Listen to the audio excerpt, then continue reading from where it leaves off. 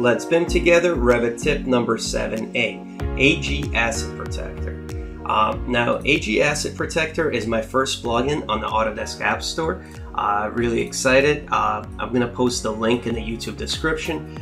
Basically what it does is turns your families into non-modifiable 3D geometry, uh, which basically allows, let's say you send this to a third party, you're to get the design intent out of this, but they're not going to be able to take this family and modify all the parameters that come with it. Like let's see, I selected this table here.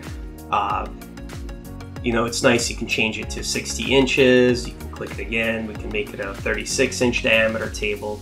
So it's really nice to have these families that have lots of parameters and firms typically spend a lot of time creating these families. And then when you send it to um, a third party, there's a chance they might take. So that's where the AG Asset Protector comes in. So let me show you all these families here. They're actual families. As you see, uh, we can go through this. So all you do is you can work by categories. So I have all the furniture you can see here. So let's select that. I'm just going to click Make Selected Categories Unmodifiable. Please read this warning before you do this, by the way. We're going to click this button here. It tells us it protected about eight families. And this is what happens. So now this right here, uh, it's rendered effect effectively useless to take other than your model. Uh, you can click Still Explode, and let's say you want to move this chair, but all the parameters are gone, where it was this really nice family where you could just switch it to a three foot table, a four foot, or whatever it is now. Um, basically, it becomes, if you see here, it's just an import symbol now. Uh, and then you're still going to be able to change materials on this. If you go to Visibility Graphics, you just go to Imports, and here's my furniture here. It kind of turns it into uh, geometry similar to what it would be if you import AutoCAD or SketchUp to your Revit model.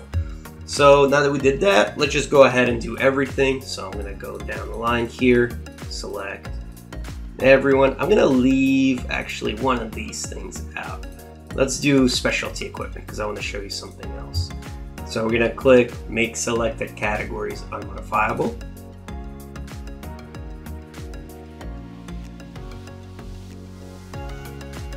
And here you go. Now also here, uh, it shows obviously 36 families got converted.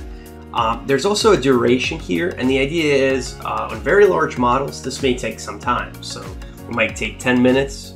Um, I haven't really seen this go past 10 minutes, but it's just limiting to the projects that I have encountered. But the idea is once you run it once, now you have a rough idea how long it would take. So now I know this model takes about six seconds.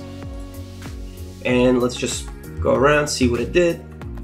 Uh, as you see here, we have our casework, uh, generic models here, and each category, it says mechanical equipment. So even though it groups it together, let's say I have these lamps, it says lighting fixtures. Even when I explode it, then it becomes more specific. Uh, I'm gonna select this, click edit type, it's lighting fixtures. It keeps the family name here, so you're gonna be able to still figure out by type. Um, and let's say you send this maybe to an interior designer or a GC that doesn't need to have your furniture families, you could always protect those uh, assets.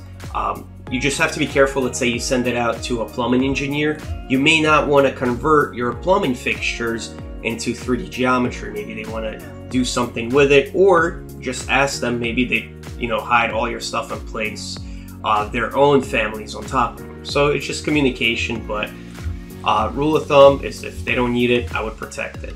Um, another feature I want to show you, I love these treadmills here.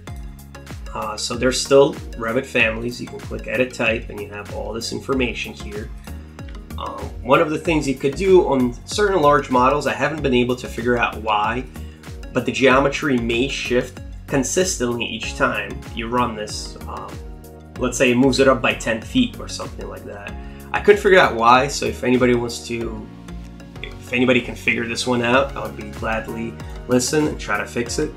But let's say your geometry modifies. Here you see a note in case protected assets shift unexpectedly, you can adjust their position. Uh, so let's say what I want to do is move this up. Let's say we want to move it to the one of the directions, let's say X, and we want to move it by 20 feet. And you know what? We'll do the Z one too. We'll do negative 20, right? And let's select our specialty equipment. Click this guy here.